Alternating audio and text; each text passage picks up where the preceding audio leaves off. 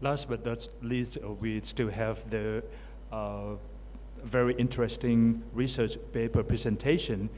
And um, thank you for the participants who are still with us this evening. We still have 35 minutes to go before we end today's session. Next is the paper research presentation from Professor Jianmin Sun from Ren, Renmin University of China on facilitating organizational innovation through human resource practices, employees' views. Thank you, Chairman. Uh, good, uh, good uh, almost evening, ladies and gentlemen. The, uh, the last is usually not the least, but the toughest, because we have to reconceptualize borrowing Karen's insightful presentation. Are you tired? Yes, I am. Please speak it loudly. I'm very tired. I'll try to finish it before the, uh, before the uh, dinner time.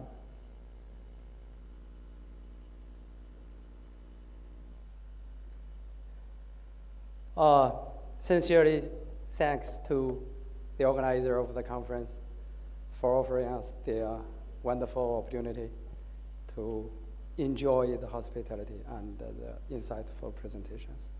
I also want to thank Lin for giving me this opportunity uh, to share with you something. The, uh, a little bit change about the uh, title. Um, because I'm a business guy, uh, my background is in psychology. So uh, all the research and uh, studies are from a more micro level. Uh, this is a little bit different. And this is a, a research project, a large research project, a part of that, sponsored by National Natural Science Foundation. We try to identify what management practice that would facilitate or enhance uh, organization innovation, which is a worldwide attractive topic uh, in the recent years. So I'm talking about the, uh, how to facilitate individual creativity by human resource practices. Uh, uh, the perceptions or perspectives from employees, uh, how the employees perceive that, what types of uh, practice, human resource practices would, uh, uh, would be helpful for individual uh, creativity. this is a very popular topic, as everybody knows. So we, we try to do something in China with a qualitative approach. this is the exploratory stage. And the data were collected through in-depth interview and open-ended questionnaires. And uh, we also uh, used the coding and uh, some others.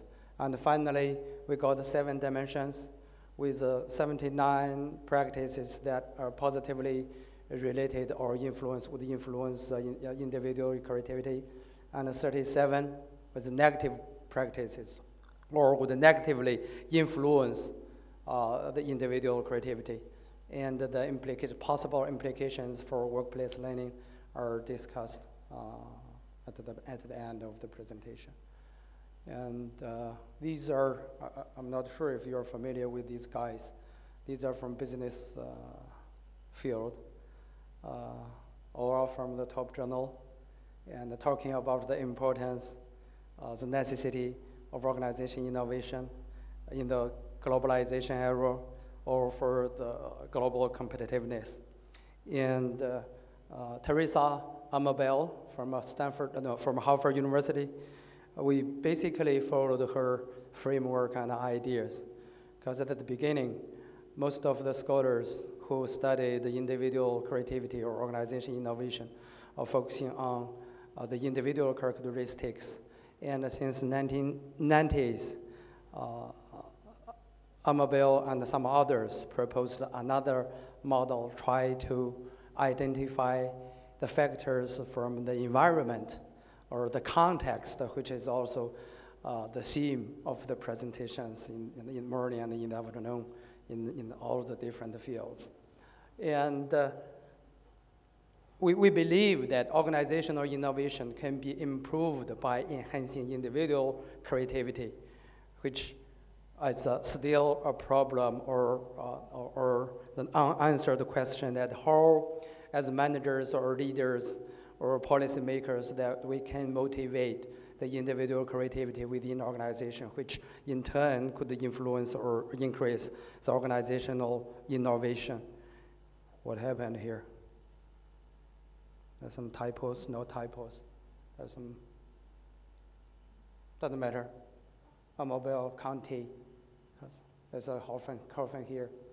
And uh, uh, one study that we did with 6,000 Chinese knowledge workers, the scientists and engineers, found that the, the main obstacles for Chinese knowledge workers for creativity is not the lack of uh, creativity, creative ability. Instead, the willingness or the motivation to be creative, which if you know anything about the tradition or the traditional culture of China, is not surprising because people don't want to, to be different from any others. Okay. So the problem becomes, or the question becomes, how to find out the, the proper situation or environment which could motivate the Chinese employees to be more proactive, no, to be more creative. This is, this is uh, the, the shortcomings or, or the pitfalls of the previous studies that they focus too much on the individual characteristics with a psychological approach. And later on, as I mentioned, scholars began to emphasize the role of environment that could uh, increase uh, the individual creativity or positively, either positively or negatively. Uh, Amabile proposed uh, called the componential model of creativity, which identified three factors that would be facilitating the individual uh, creativity, the organization, and the resources, and the management practices. Unfortunately, she didn't, they, they didn't identify specific practices when they say management practices, which Uh, from the perspective of practice, it's a little bit useless. But they do identify or give us some definitions about the environment, which is not a specific or, or, objective. It's the perception of the individual employee. They call the psychological context of the creativity, which means it's how the employees understand the situation or the environment. That's the psychological meaning that respondents or individual employees attach to a specific event or situation, which we uh, basically followed this idea. And uh, also it has been recognized that, uh, and also uh, empirically demonstrated that the human resource management as one of the main management practices within the organization could help to improve the organization performance with a whole bunch of publications, the Academy of Management Journal, JAP, PSYCH, Journal of Management, and mainly in the Western countries, North America, so I'm more influenced by North America. And, uh, but some studies uh, in China also. Uh, the, but so far, most of the studies have been focusing on the bottom line, the financial outcomes when we talk about organizational performance. Less research have been talking about or studied the relationship between human resource management and individual creativity or organizational innovation, which is becoming popular in the past few years, three or five years. And the findings told us that creativity is closely related or could be enhanced by rewarding system. Most of the studies said the, the reward system could enhance the individual creativity to a great deal. But some others get the opposite results of co conclusion that they don't agree. At least the, the short-term focused performance appraisal to some extent would undermine the individual creativity, which is very uh, to me, it's, it's, it's, very interesting. So there's a debate there. And uh, the performance of appraisal system is also uh, arguable. Uh, some of the studies said the performance of appraisal would influence positively the individual creativity. But others demonstrated that no, they would undermine also or, or decrease the level of creativity. And another factor related with human resource management practice is job characteristics, and uh, which is not surprising if you are familiar with uh, Hackman Oldham's job characteristics model. Those uh, jobs that have uh, characteristics such as autonomous, uh, feedback, uh, quickly feedback, and uh, technology-based or something would be more uh, interesting or motivating than those jobs that don't have these characteristics. Uh, these are basically, these, the, this relationship is basically supported in all the different types of researches. So, so far we can get the conclusion that these human resource practices would be positively related with individual creativity, whatever uh, you, you, you, define, however you define the individual creativity. That reward, uh, the extensive training, or innovation-based oriented training, and challenging tasks or proper job pressure, which is job characteristics, and job enrichment and the job rotation, combination of individual and teamwork, which is very interesting when the whole world was emphasizing the importance of teamwork and the research found that not all the teamwork would influence or, or positively to the individual creativity. And some people still enjoy individual work that they don't like the teamwork. And the challenging goals, the positive performance feedback, these are, are these are the, the basically uh, findings. And those are, are closely related with traditional human resource practices. Those are more related with uh, the learning organization or workplace learning activities like exploratory learning, empowerment, uh, multiple recognition, and participation of decision making, and uh, diversified teamwork. Uh, still some debate there about the last point is the support from the boss and the multiple career advances. Basically, these are findings or conclusions from the Western countries and the cultures. So we want to need to know is are, uh, what about these debates, the three factors that are they positively related or negatively related with the individual creativities, reward methods, teamwork, and performance appraisal. So our research question is basically what types of human resource practices in Chinese organizations or in the eyes of the Chinese employees that would facilitate the individual creativity. And we try to tap the perceptions comprehensively or the psychological context uh, using the uh, Amabile's uh, definition about all the practices that might serve as a creative enforcer or influences.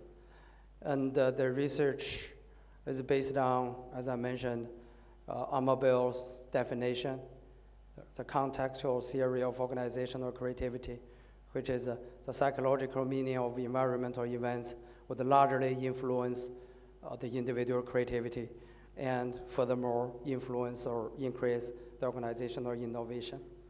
And we used the in-depth interview with 35 uh, professionals in R&D, sales, different types of uh, industries, bank and retail, and each interview lasted about one and uh, two and a half hours. And also, we used the questionnaire, open-ended questionnaire uh, with uh, 128 responded, validated responses. Uh, questions we asked basically, uh, these are examples. What management practices or measures in your company do you think are good for motivating creativity or innovation of employees? Please give us a detailed explanation or what practices or measures that would hinder the implementation of creativity and uh, blah, blah, blah. The, these are also the questions that included in the open-ended questionnaire. And the three PhD students who are supposed to be the subject of, uh, the, the, expert of subject matter, uh, who knows uh, creativity, innovation, who knows research methods, but blend with our research purpose, goals, objectives, are uh, invited to help us to do the coding. And they are uh, uh, asked to pick up those meaningful practices uh, for Chinese companies or organizations in terms of the human resource management practices. And practices with the same meaning or closely with, related with each other are combined together. And those with uh, some specific meanings or not related can, can hardly be characterized as human resource practices are deleted. And agreement were calculated with the Kendall coefficient alpha. And the frequencies also for each uh, practices are calculated. And finally, we got more than 1,000 statements.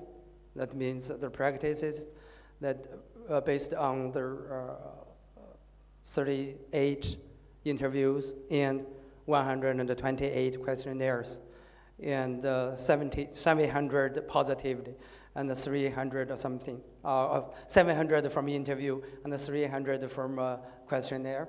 And these seven are the positively influenced factors, and almost 300 are negatively related. And averagely, each respondent uh, give us, uh, provided about averagely 12 practices. And by three round uh, classifications, coding combinations, and we get 116 practices and 79 positive and 37 negative practices. Then we classified these practices into seven dimensions and named respectively compensation system, career advancement, training and development, performance appraisal, job characteristics and uh, work condition, and the corporate culture, which is a very complicated dimension, and including the sub-dimensions like harmonious relationship, 关系 with the co-workers and the bosses and, and the subordinates, and the climate, innovative climate, and uh, the rules and the procedures and the opportunities to make suggestions to the management of the organization, the things like that. And these, oops, no, come back. I'll give you some examples to demonstrate these seven dimensions, like compensation system, that the pay level is competitive in the local area and also in the industry. And so that means that creative people are still working for pay, money.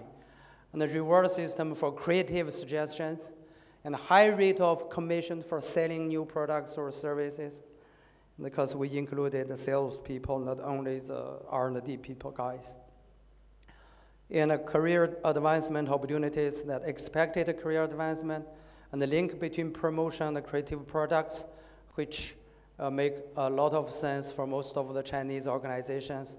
Because if you know anything about Fred Luthans, who is a professor from the University of uh, Lincoln, uh, Nebraska Lincoln, they're successful and effective managers. Because most of the Chinese managers like that. The effective managers may not necessarily be successful managers. By successful, it means promoted more quickly. Uh, the effective means that you, the managers can do their job well. But theoretically, those who can do, who are, who are effective uh, could be more successful.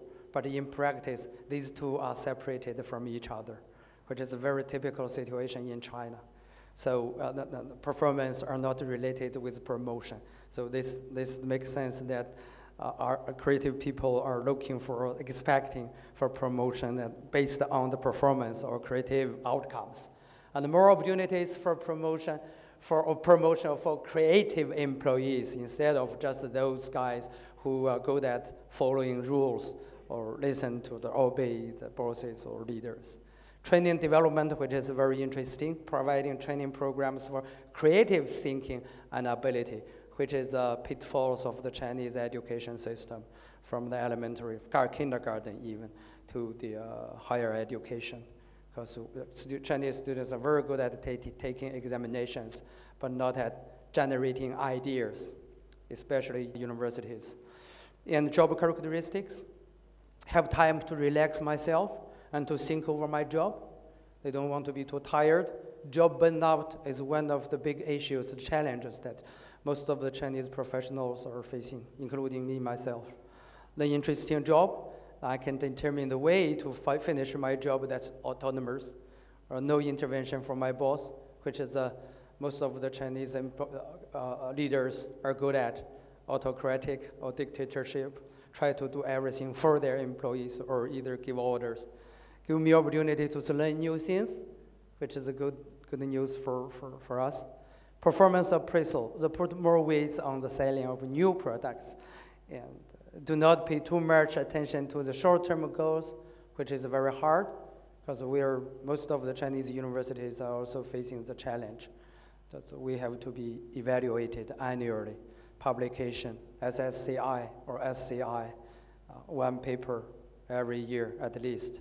Then no way for promotion. Uh, and you have to publish in English language, Chinese, no, short term. And the companies exactly the same. Do not put creativity as a measure of performance. Otherwise, it would become a burden, not my interest.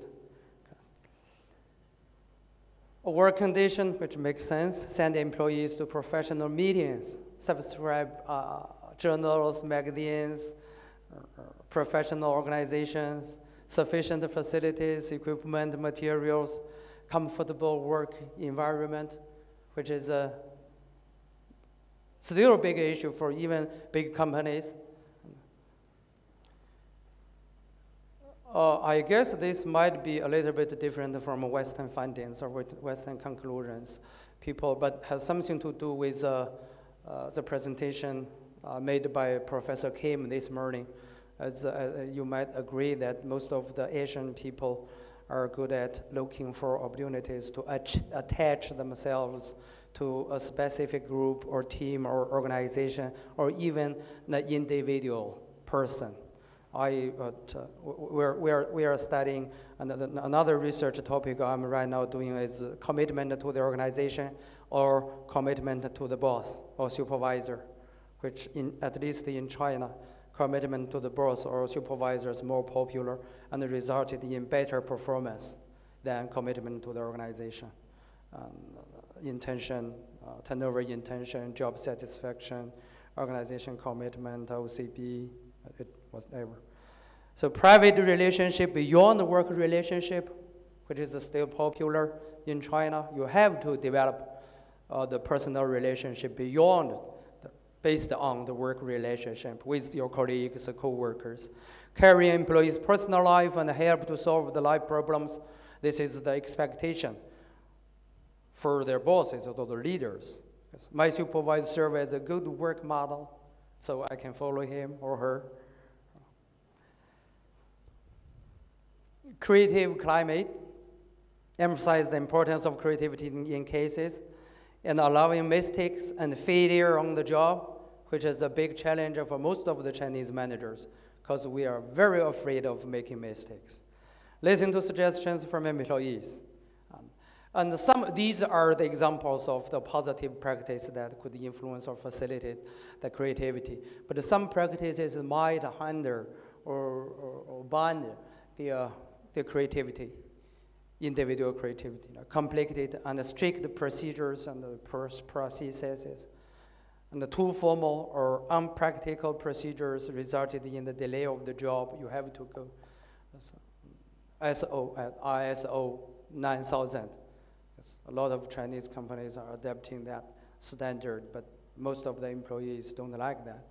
Leaders concern too much about the stability which is the, uh, which is the theme of the whole country right now, harmonious and stability. Afraid of making mistakes. Too many latent rules in the daily operation or interaction. too much time to deal with interpersonal issues that guanxi. You have to consider about the who's who's who. Uh, very complicated relationship. Too much teamwork. This is what I'm talking about. Not all the employees enjoy team working. That some still believe that individual work could be more effective for individual creativity opportunities for voice. The leaders pay no attention to, they don't listen to the employee suggestions, quickly reject the suggestions or ideas from the subordinates. Oops, oops, what's wrong?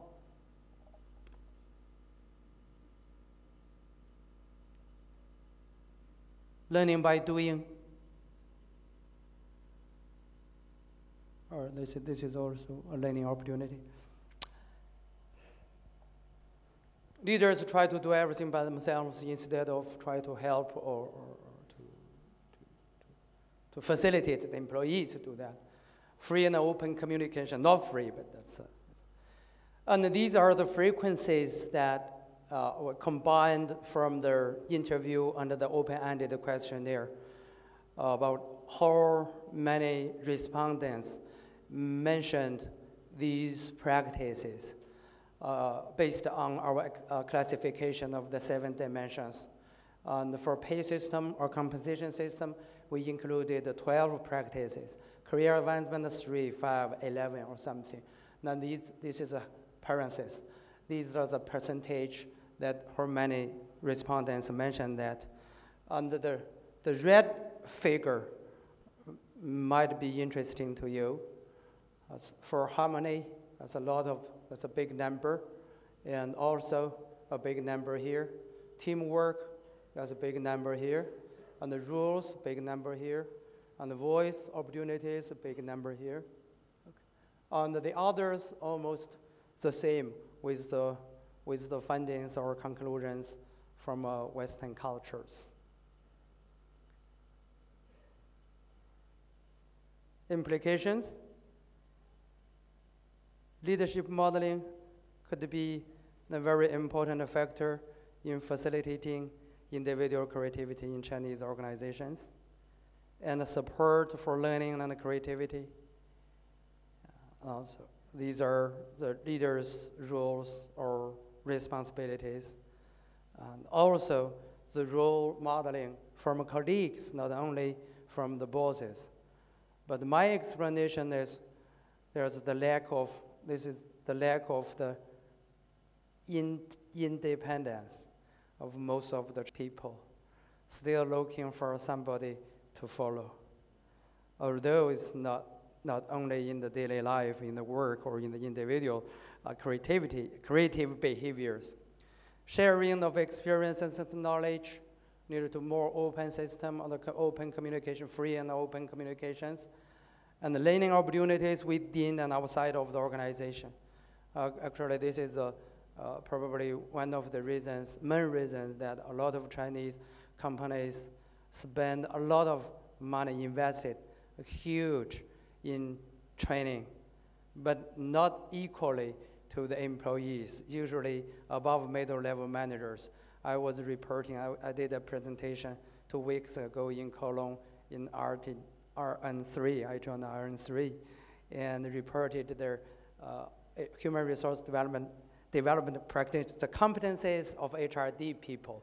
And uh, there are altogether 50 executive MBA programs right now in China, including five international, uh, uh, such as Maryland University, Smith, and the University of Washington, Orleans, which for the executive MBA program it cost about 50,000 US dollars, which is a huge amount of money for most of the Chinese, but it has been extremely popular, very crowded, as 30, 40 participants for each class.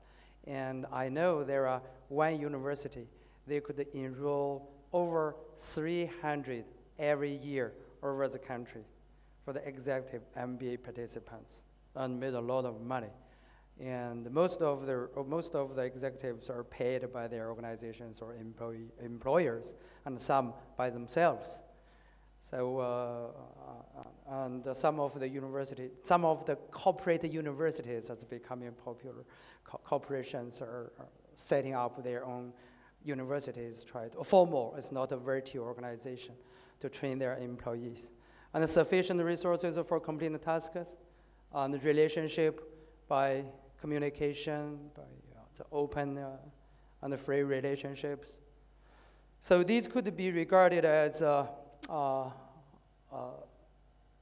the workplace learning practices or what as experts we can do in helping the organization to facilitate the individual creativity based on our research. And we would follow this uh, uh, into the second stage to do a quantitative research. We are standardized the questionnaire, and then we could do more statistics with the basic findings. Thank you. Three speakers, Professor Karen Evans, Professor Milan Pol, and Professor Jianmin Sun for their interesting presentation. And also thank you all participants, foreign and Thai, for being here with us the whole day. And uh, I do hope that you will have a very pleasant evening and enjoy your memorable stay in Bangkok, Thailand. And see you tomorrow.